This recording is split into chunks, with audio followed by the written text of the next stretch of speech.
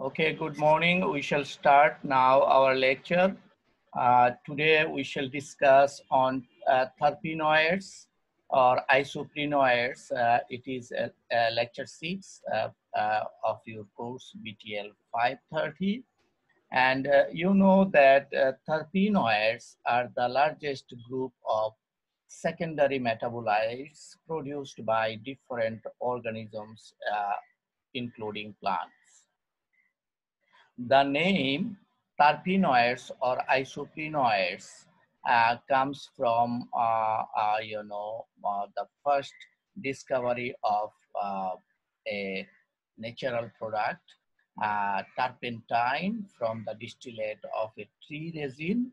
and it is the first members of the class of the terpenoid and isoprenoid, since isoprene is the basic unit of C5 uh, building, uh, uh, so all the compounds of, uh, uh, you know, terpenoids, they have the unit of C5 building block.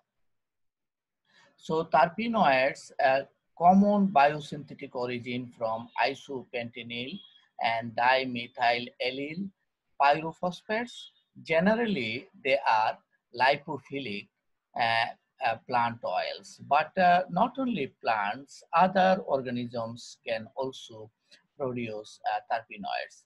Uh, in plants, leaf glandular trichomes, bud exudates, bark resins, they are basically terpenoid, uh, contains terpenoidal compounds.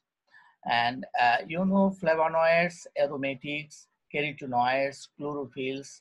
Uh, these uh, as, uh, are also other, you know, metabolites. But terpenoids mimic insect growth hormones. Some of the terpenoids include cardiac glycosides, which affect the heart of the uh, insect and other organisms and they are basically toxic to most of the fungi and insects. This is why they have the, uh, you know, uh, how to say, medicinal principle. Physiologically, they are uh, active. So uh, the biogenic, uh, uh, yes, the biogenic isoprene rule is, this is the skeleton, isoprene all uh, uh, you know terpenoidal compound uh, contains a unit of this isoprene. For example, limonene. Uh, it is uh, it contains two unit of isoprene limonene limonene is produced by lemon uh, the aromatic compound terpenoidal compound present in lemon the famous scientist the leopold ruzicka who got Nobel Prize in Chemistry in uh, 1910 uh, uh, uh, defined a, a terpenoidal compound. A compound is an isoprenoid or terpenoid if it is derived biologically from an isoprenoid, that is this isoprene uh, skeleton with or without rearrangement. This structure uh, unit may be rearranged or arranged. But anyway, uh, compound uh, of uh, terpenoid contains this unit and it was uh, proposed and hypothesized by Leopold Ruzicka who got the Nobel Prize in chemistry. So the terpenoids of plant origins, let us uh, they, they can be volatile or non-volatile. Uh, for example, uh, fragrance or uh, flavor or scent in the leaves or flowers, they are basically terpenoidal compound. Many antibiotics uh, used in the uh, commercially in pharmaceutical industry, they are terpenoidal compounds. Hormones, uh, many hormones are terpenoidal compounds, membrane lipids, terpenoidal compounds. Insect attractant, some of them attract insects, especially the aromatic compounds. Uh, insect antifeedant, stop feeding uh, uh, of the by the uh, uh, of plants by the insects. And uh, terpenoid compounds uh, mediate the electron transport processes, especially the uh, quinones, uh, plastoquinones and others. So they are involved in respiration and photosynthesis of the plant. So very important. Terpenoids, uh, in case of plant, uh, they are very, uh, you know, important defense compounds uh, as well as compounds for communication. For example, uh, this is a plant uh, in the, you see above ground and below ground, both cases, for example, above ground, some terpenoids are attractant. Uh, for example, fragrance of the flowers uh, attract the uh, pollinator insects and other organisms. Uh, which are beneficial for the plant. Above ground, there are some terpenoids which help plants to protect themselves from the uh, attack of other organisms. So uh, those terpenoids are uh, repellents, antifeedants, predator attraction. Predator are beneficial insects. Those are harmful for other, uh, you know, um, uh, insect pest. So uh, predator are attracted by the uh, some uh, volatile uh, terpenoids and some non-volatile terpenoids are antifeedants or like that. So if we consider the below ground, uh, some terpenoids are attractant and uh, attractant of you know different beneficial microorganisms or insects and some are uh, you know, antimicrobial, antifeedant of uh, insects. So uh, plants uh, uh, can communicate with the beneficial organisms through the terpenoids as well as plant defend themselves from the attack of uh, other herbivores and microorganisms to protect themselves by using the terpenoids. So terpenoids, uh, this uh, uh, scheme probably I have shown you before. Terpenoids are biosynthesized from uh, different uh, pathways. Uh, mevalonic acid pathway is one of the important pathway which originate from the acetyl CoA.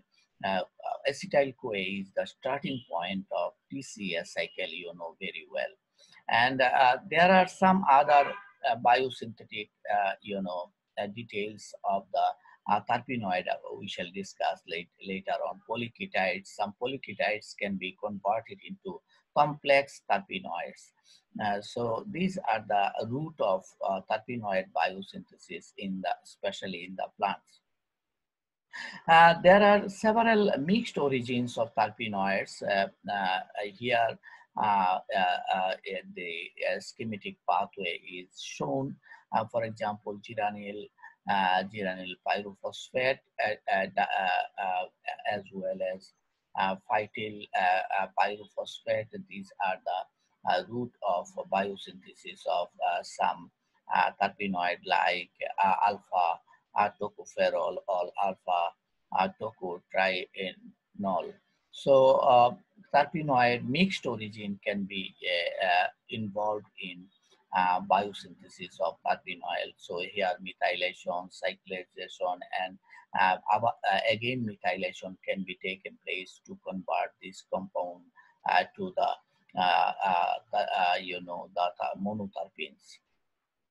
So let us discuss a little bit and precisely the uh, basic classification of terpenoid. Um, terpenoid can be classified into several groups. For example, hemiterpenes. Hemiterpenes contain only one uh, unit of isoprene, uh, C5. Uh, this is why uh, compound contains only five carbon. Uh, on the other hand, monoterpenes, the example is limonene, contains two you know, isoprene unit. This is why uh, total carbon in the structure is 10. Uh, sesquiterpene 15 like abscisic acid. Abscisic acid you know very well. Uh, it is a you know, plant hormone. Um, so it is also a terpenoidal compound, sesquiterpene. Uh, diterpene uh, contains C, uh, 20 carbon 20 carbon containing compound like gibberellin. This is another uh, uh, plant hormone, very famous plant hormone. Uh, similarly, tritterpene, here is a spelling mistake. it should be tri terpene, P-E-N-E. So it contains 30 carbon uh, for example, brassinosteroids. Brassino, brassinosteroids are also, uh, uh, you know, uh, phytohormones uh, uh, and very strong influence in plant growth. tetraterpenes contains C40, that is carbon number in the structure 40, carotenoids, different carotenoids present in the, for example, carrot, uh, and uh, there are some other uh, compounds uh, in the terpenoids which has carbon number higher than uh, 40. They are called poly polyterpenes or uh, uh meroterpenes. So uh, uh, also important plant hormone, vitamin E, also you know meroterpene. So this is a simplified classification of terpenoidal compound based on the uh, structure, uh, you know, uh, structural variation of the isoprene unions. So monoterpene, there are lots of, you know, example, for example, menthol or uh, carvone or linalool uh, the, uh, so what is important for you? You need to um, memorize one chemical structure uh, for each group of terpenoid. No need to uh, memorize the chemical structure of all. Uh, similarly, sesquiterpene, um, here is the, you know, different sesquiterpenes, how, how they are biosynthesized. Uh, diterpenes, and uh, triterpenoids, uh, here uh, uh, lots of structures, uh, but these are not a bit hazy. Anyway, I shall uh, give you the original slide. You can find it. triterpenoids. Triterpenoids, lots of triterpenoids are produced by the cucurbitaceae plant. Tetraterpenoid, most important is uh, carotenoids, different kinds of carotenoids like beta carotene, uh, Uh, present in the uh, carrot, uh, very famous.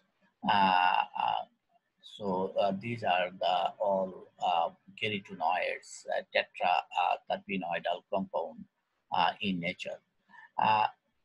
how the terpenoids are biosynthesized. I showed you a little bit before, but uh, they are uh, mostly biosynthesized through two pathways. One is mevalonate uh, pathway leading to uh, isopentenyl uh, pyrophosphate in the cytosol of the uh, uh, cell. And another one is uh, the methyl erythritol phosphate pathway leading to isopentenyl pyrophosphate in the plastids. So in plant, uh, in the cytosol, uh, mevalonate pathway is active for synthesis of uh, terpenoid, and in plastids, uh, uh, you know, uh, methyl erythritol phosphate pathway leading to the, you know, terpenoid biosynthesis. So terpenoids or isoprenoids are a family of compounds. What we understood so far within this time the terpenoids and isoprenoids are a family of compounds with great structural diversity, which are essential for all living organisms, not only plant or uh, all organisms uh, uh, require uh, terpenoid. In cyanobacteria, uh, they are synthesized from the methyl erythritol phosphate pathway using uh, glyceraldehyde 3-phosphate. You know glyceraldehyde 3-phosphate is a primary metabolite uh, uh, which is uh, produced through the photosynthetic process and pyruvate produced by photosynthesis as substrates. So these are the substrates used in the you know methyl erythritol phosphate pathway to synthesis of the terpenoidal compound.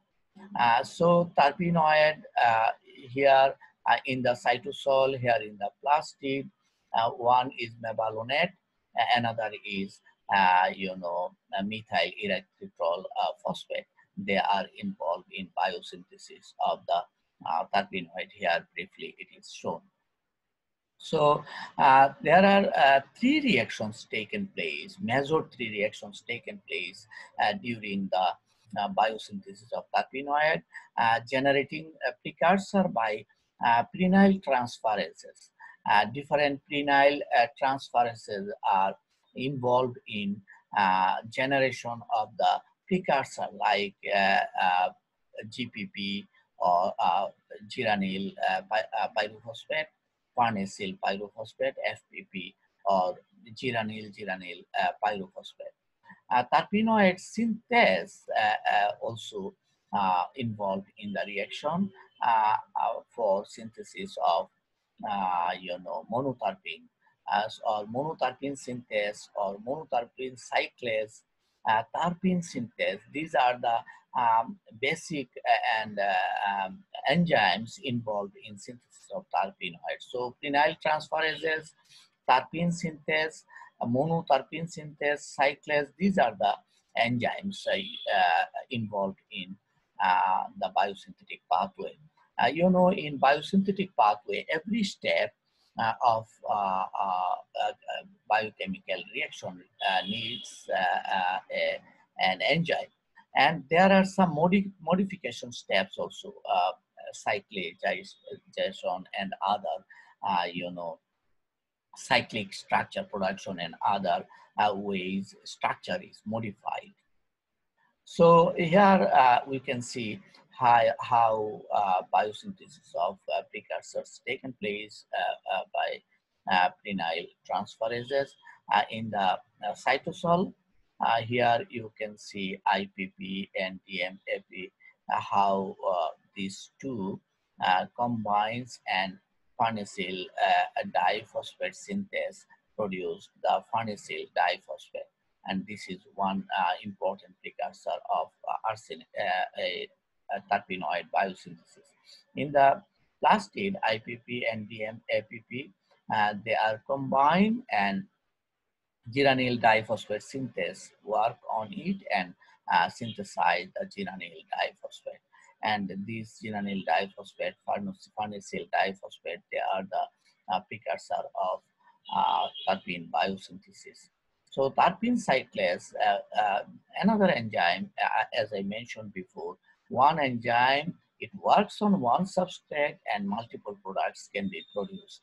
Uh, this is uh, a very powerful enzyme in terpene biosynthesis. Uh, uh, and sesquiterpene, how they are biosynthesized is shown here. Uh, when you uh, have time, please go through in detail. different terpenoid are biosynthesized. Here you can see paclitaxel uh, one of the very powerful anti-cancer compound uh, is terpenoidal compound and it is biosynthesized uh, through this complex pathway. So diterpene and triterpenoids, uh, leaf of cucumber, I mentioned that cucurbitaceae plant contains lots of uh, triterpenoids and Myzus persicae uh, uh, loves uh, diterpenoids and suck from the leaves. So uh, production in uh, plants, uh, especially in plants, uh, terpenoids are stored in glandular trichomes, especially in the labiata like uh, mentha or cannabis plants. Uh, in some plants like eucalyptus, citrus, they are deposited in the cavities. So eucalyptus leaf or lemon leaf, if you crush in the cavity, uh, they are deposited and they are stored and they are coming out, you can get the strong uh, aroma. Uh, resin ducts, uh, pine trees, they are deposited or stored in the resin duct. and there are some beneficial uh, you know, uh, insects, especially in case of plants, uh, fruit aroma, leaves aroma, or flowers aroma, they attract beneficial, uh, uh, you know, uh, insects. so these terpenoids are working as a, a, tool for communication with the friends of the plant most secondary metabolites in basil. You know, the basil leaves uh, are medicinally very important and they are produced in the peltate gland. Uh, in the peltate gland, in the basil leaves surface, this type of gland like uh, glandular trichomes, this glandular uh, trichome uh, in the uh, contained stored lots of, you know, terpenoidal compounds. So this structure has already been studied uh, in detail. Uh, here is the, uh, you know, photograph of basil, sweet basil plant. And here the scanning electron micrographs showing the peltate gland or tri glandular trichomes present on the basil uh, uh, leaves and they are uh, you know filled in different terpenoidal compound volatile compound. So terpenoidal compound can be sub-classified uh, uh, uh, as follows here uh, in the table uh, with some examples. Uh, terpenoidal class, for example, monoterpenoids, volatile essential oil constituents. They are the main description of the monoterpenoids. Iridoids, another group of terpenoidal, sub class of terpenoidal compounds. Beta testing lactones, usually in glycosidic form. Sesquiterpenoids, higher boiling essential oil constituents. Sesquiterpene lactones, uh, lactone ring uh, present in some sesquiterpene, they are called lactone, uh, sesquiterpene lactones. Characteristic of the family composite. Uh, diterpenoids, resin acids, and gibberellins, they are diterpenoids, and triterpenoids, saponins, the, uh, another group is uh, terpenoids, but they are contain the saponin uh, uh moiety. Uh, so hemolytic glycosides, steroid saponins, another subclass of terpenoids, hemolytic glycosides, cardenolides and bufadienolides, heart poison and toxin heart poison, some compounds, cardenolides and bufadienolides, you know, are uh, physiologically active uh, in the heart muscles and they are very powerful toxic to stop the heart activity or like that. In case of insect, uh, it has already been proven. Uh, phytos, uh, phytosterols, they are also uh, one present in membrane constituent of the cell phytosterols. Uh, so they are also terpenoids.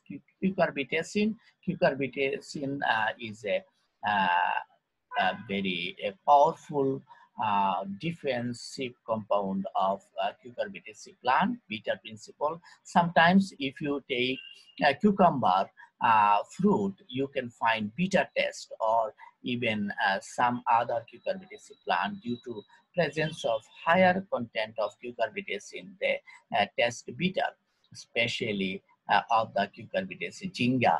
Uh, sometimes Jinga uh, uh, vegetable uh, test bitter due to presence of higher content of cucurbitacin. Not try terpenoids, limon, limonoids, and quassinoids, and other terpenoids, lupanes, hopanes, and ursanes, these are other terpenoids, carotenoids, you know, yellow or red pigments like beta carotene. So this is another, uh, you know, sub-classification uh, of the terpenoids uh, with brief description.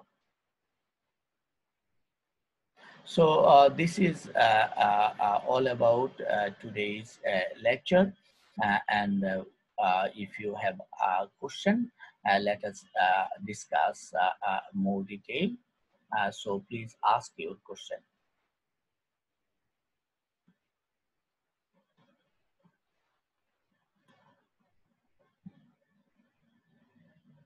Sir,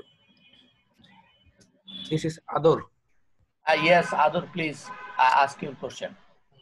Sir, uh, my question is, sir, what are the drawback of um, terpenoids?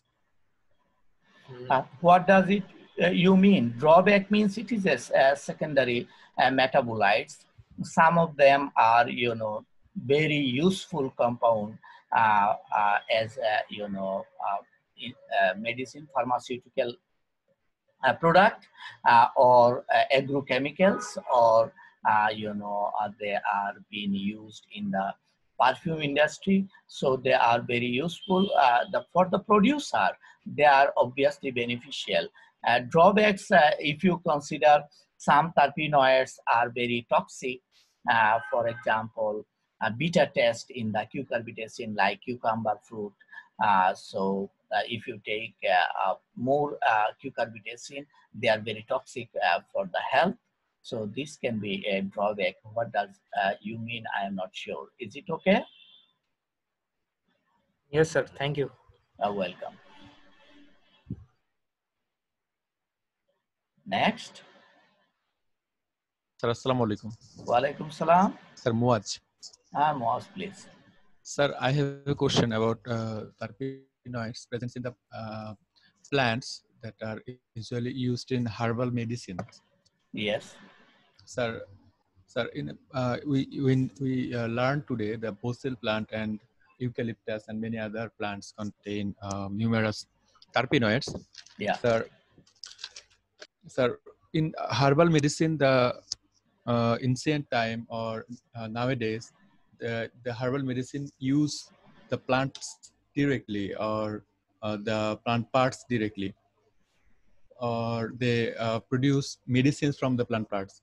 So, if it's possible to uh, to elucidate the chemical structure of terpenoids present in the plants, so is, is, is it possible to um, make them chemically uh, in, industrially in the laboratory?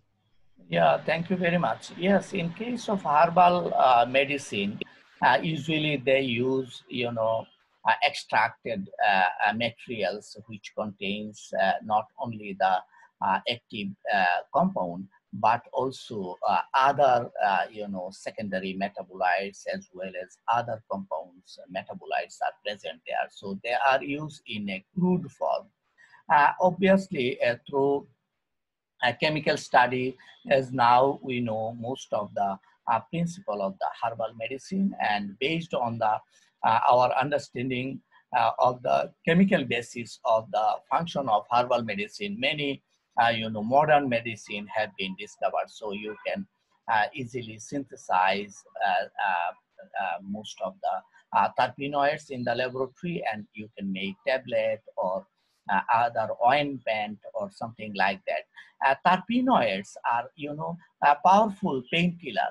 Uh, sometimes uh, you can find in the market some ointment, uh, terpenoid ointment, uh, uh, you know, which is very good for, uh, you know, headache uh, or, uh, you know, if people suffer from cold, then those terpenoids, strong aroma, can be used, ointment can be used to get relief from the cold as well as you know the headache or other pain.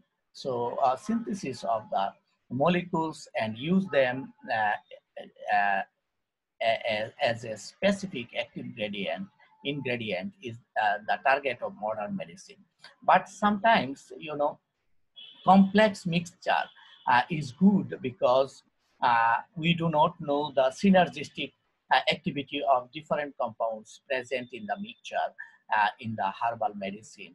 Sometimes it is good and less, uh, you know, uh, chance of getting the uh, tolerance or resistance as well as sometimes it is giving you some other benefits as, you know, complex mixture contains multiple physiologically active compounds. Thank you. Sir, is there any chance of uh, uh, becoming toxic of uh, um, a complex mixture of terpenoids from uh, Yeah. Yes, yes, there is a chance because uh, uh, you are not hundred percent sure uh, which compound is active. Uh, as a result, if the dose is not appropriate, sometimes it can be toxic.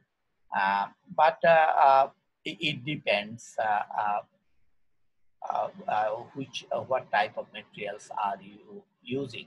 In case of modern medicine, the side effect uh, of all the uh, you know um, pure ingredient used in the uh, tablet or capsule or uh, syrup or other form ha- uh, have thoroughly been studied uh, and defined uh, which receptor are involved in binding or like that. But in case of crude uh, mixture, uh, in most cases, uh, we have little knowledge about the mechanism of action. This is why there is a chance of, uh, you know, uh, unknown uh, side effect uh, from the crude mixture of herbal drugs. Any more question?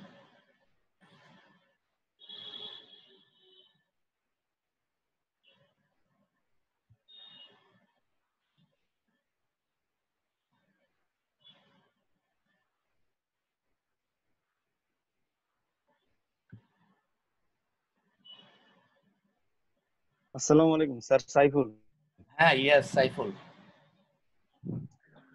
Sir, some volatile substances, uh, secre- uh, volatile terpenoids are here. Uh, is uh, these volatile subst- terpenoids are attacked? Uh, volatile substance secrets for pollinators uh, or another pu- purpose? Volatile substances uh, produced by any organism, uh, they are, uh, uh, you know, uh, secreted for the benefit of the producer because, you know, any compound, pro- production of any compound, synthesis of any compound is costly. So volatile compounds mostly produced for a certain purpose. For example, plant flower fragrance as uh, uh, you know diffuse through the uh, air and attract the insect. And insect, especially two types of insects, are, are targeted by the plant. One group is uh, which is involved in uh, and emit to attract the uh, friend to get the benefit from the friend.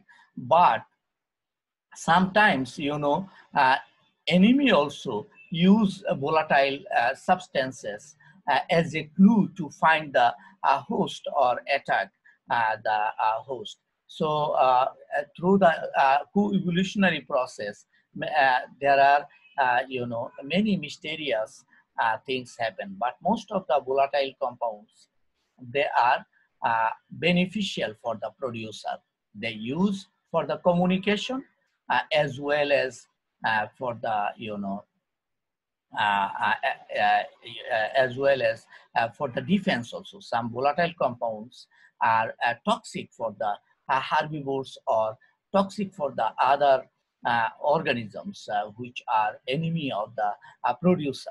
So two purposes, one protection, another uh, is, uh, you know, to communicate with the uh, friends or, you know, partners uh, uh, uh, for mating or like that, uh, the producer uh, synthesize the volatile compounds, terpenoidal compounds for their own benefit.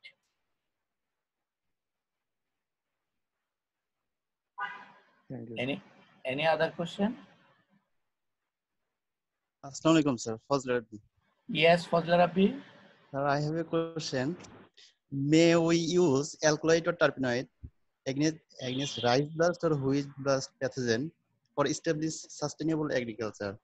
Is it possible, sir? Uh, you mean whether we can use, can we use a terpenoidal compound to uh, uh, protect wheat plant from the wheat blast Yes, sir. Wheat blast or rice blast? or rice blast? Yes. Uh, Yes, uh, uh, uh, on principle, it may be possible, but you have to discover which terpenoidal compounds are toxic for the wheat blast and rice blast.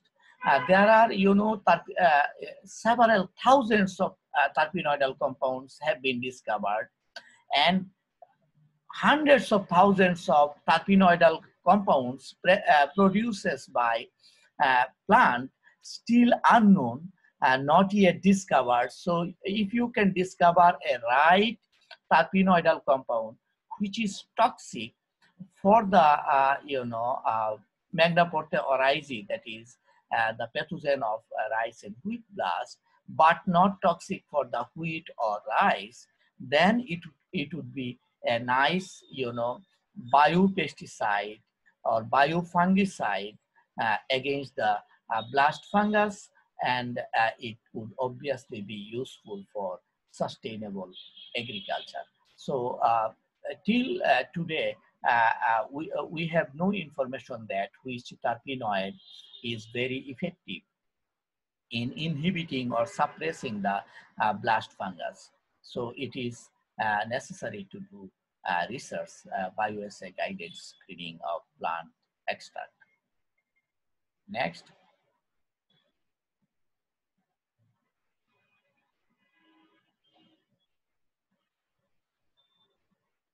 Any more question?